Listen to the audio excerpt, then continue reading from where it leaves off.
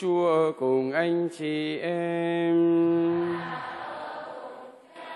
Tin mừng Chúa Giêsu Kitô theo Thánh Matthew.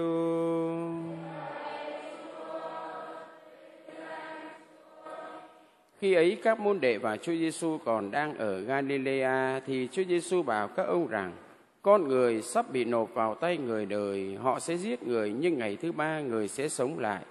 Các môn đệ rất đỗi buồn phiền. Khi các ngài đến Ca Phang Đa Ôm thì những người thu thuế đền thờ đến gặp Phêrô và hỏi rằng: Thầy các ông không nộp đế, không nộp thuế đền thờ sao? Ông nói: Có chứ. Khi ông về đến nhà, Chúa Giêsu đón hỏi ông trước rằng: Simon con nghĩ sao? Vua chúa trần gian thu thuế hạng người nào? Đòi con cái mình hay người ngoài? Ông thưa rằng đòi người ngoài. Chúa Giêsu bảo ông rằng Vậy thì con cái được miễn nhưng để chúng ta không làm cho họ vấp phạm, con hãy ra biển thả câu. Con cái nào câu lên trước hết thì hãy bắt lấy mở miệng nó ra sẽ thấy một đồng tiền. Con hãy lấy đồng tiền đó mà nộp cho họ trả phần thầy và phần con.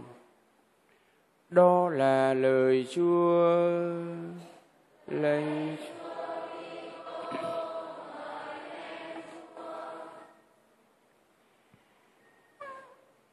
Anh chị em thân mến, tin mừng của ngày hôm nay cho chúng ta thấy cái mối tương quan Chúa Giêsu dạy chúng ta giữa con người với lại đền thờ Jerusalem là trung tâm là trái tim của người Kitô hữu đặc biệt là đối với người Do Thái thời Chúa Giêsu.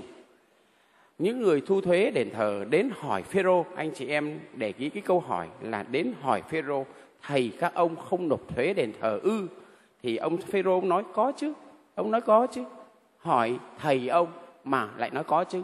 Thế đến khi về đến nhà thì Chúa Giêsu đón hỏi trước. Người ta không hỏi Chúa mà Chúa đã biết cái câu hỏi của cái người thu thuế đến hỏi Phêrô. Còn vua chúa trần thế đòi người khác đóng thuế là con cái trong nhà hay người ngoài? Thế thì ông Phêrô nói là người đòi người ngoài. Chúa Giêsu nói cái câu đó có nghĩa là gì? Đền thờ, đó là gì? Là nơi thờ phượng thiên chúa. Mà chúa giêsu là con của thiên chúa cha.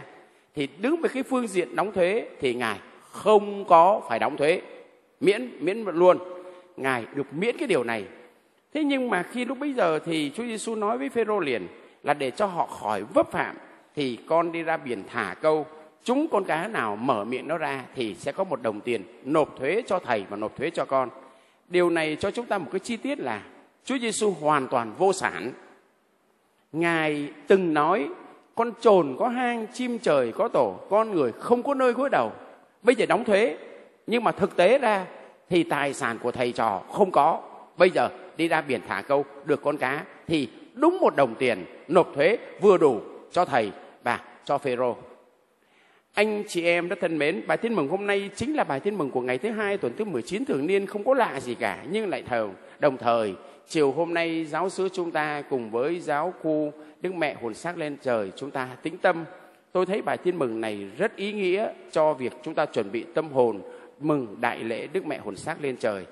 Anh chị em biết, đối với quan niệm của người Do Thái, đền thờ Jerusalem, Chúa Giêsu trong bài tin mừng hôm nay là ngài ở Galilee, tức là miền Bắc, cũng giống như chúng ta ở ngoài, Chúa Giêsu đang ở ngoài Linh Bình vậy. Đền thờ Jerusalem ở Jerusalem là miền Nam, giống như ở Sài Gòn vậy. Vì thế về phương diện địa lý rất là xa. Thế nhưng mà tất cả mọi người do thái, dù ở miền bắc, miền trung, miền nam, họ luôn luôn hướng về đền thờ. Tại sao vậy? Họ đóng thuế, đó là một cách thức. Họ nói lên rằng họ thuộc về thiên chúa, họ thuộc về cộng đoàn của chúa chọn. Anh chị em, tất cả chúng ta giống như đức mẹ. Anh chị em biết công đồng Vatican II nói làm sao không? Phải trước đây đó, thì đặt Đức Mẹ ở trên. Đức Mẹ ở trên, trên tất cả các thánh luôn đó. Nhưng bây giờ công đồng Vatican II đặt Đức Mẹ ở giữa. Chỉ có một mình Thiên Chúa ở trên thôi. Vì Thiên Chúa còn ra là đấng sáng tạo nên Đức Mẹ nữa cơ mà. Đức Mẹ dù là mẹ của Chúa Giêsu nhưng mẹ cũng chỉ là con người. Mẹ không hề phải là thần, mẹ chỉ là người thôi. Nhưng mẹ được đặc ơn là sinh con Thiên Chúa. Do đó mẹ là người, mẹ ở giữa chúng ta ở giữa chúng ta nhưng mẹ vẫn luôn luôn đóng góp vào phần của mẹ cho chương trình của Thiên Chúa. Anh chị em, bài tin mừng cho chúng ta thấy là dù ở đâu ở đâu Đức Mẹ là gương cho chúng ta đóng góp vào nhà của Thiên Chúa bằng chính nỗ lực của mình. Khi Đức Mẹ ở trong vùng Nazareth, một cái vùng vùng rất là vùng thôn quê, anh chị em biết gì chúng ta nghe đến Nazareth đó, để chúng ta cái đền một cái địa danh riết của chúng ta đọc riết nó trở thành danh tiếng. Nhưng mà thời Chúa Giêsu Nazareth mà nơi thiên thần truyền tiên cho Đức Mẹ rất là hẻo lánh. Các nhà khảo cổ nói rằng Nazareth thời Chúa Giêsu nó nằm ở trên một cái triền đồi và rất là hẻo lánh, chưa tới 100 người, khoảng chừng trên dưới 30 40 nóc ra thôi, rất là hẻo lánh. Nhưng mà một cô cô, cô thôn nữ hẻo ở trong vùng đèo lánh như vậy, đóng góp vào trong chương trình của Thiên Chúa bằng cách là xin vâng với thiên thần để Đức Giêsu Kitô con Chúa ngự đến trong lòng mẹ. Và anh chị em biết trong kinh cầu các thánh đó, anh chị em nhớ có cái câu này. Đức bà là tòa đấng khôn ngoan. Anh chị em biết đây cái từ này là cái từ gì không? Đây là một thuật ngữ. Đức bà là tòa đấng khôn ngoan. Tòa là cái gì? Tòa là nơi Chúa ngự. Thế thì khi đọc Đức bà là tòa đấng khôn ngoan, nghĩa là nơi cung lòng Đức Mẹ, đích thực là cái tòa đẹp nhất cho ngôi hai của Thiên Chúa ngự trong lòng mẹ. Và nhờ thế, mẹ đem đấng cứu thế đến cho chúng ta. Một người mẹ rất là một cô cô gái thôn quê hẻo lánh và vô danh tiểu tốt. Mẹ đã trở thành là nơi cho Chúa ngự để Chúa đến và mẹ đích thực là đền thờ của Thiên Chúa để cho Chúa dùng mẹ như thể là nơi Chúa đến ngự giữa trần gian.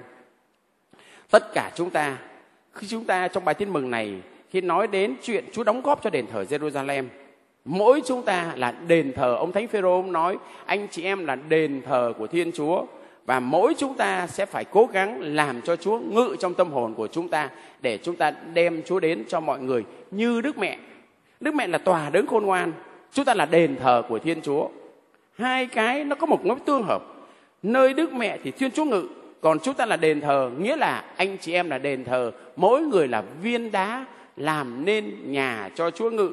Và chính thiên chúa ngự đó thì viên đá này hay viên đá kia sẽ tạo nên một cái tòa nhà cho chúa.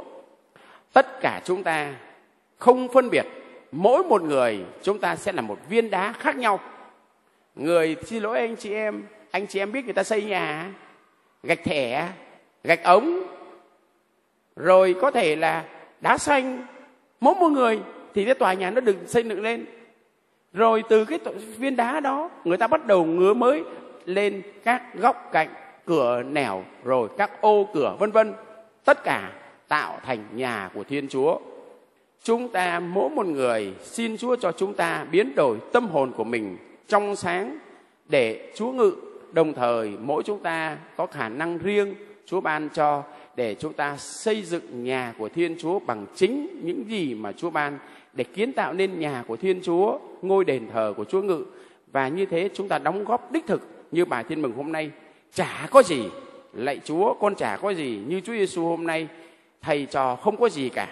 Chính cái con cá, nó có cái đồng tiền đó, nộp cho thầy và nộp cho cho Phêrô.